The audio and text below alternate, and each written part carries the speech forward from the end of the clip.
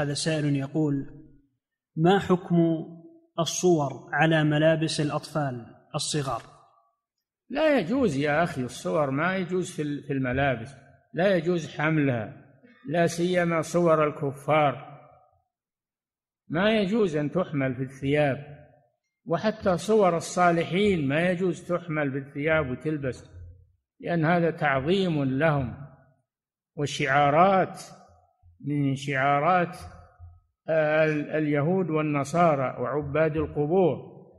فلا يجوز أن تحمل الصور على ظهر الثياب أو في مقدمتها.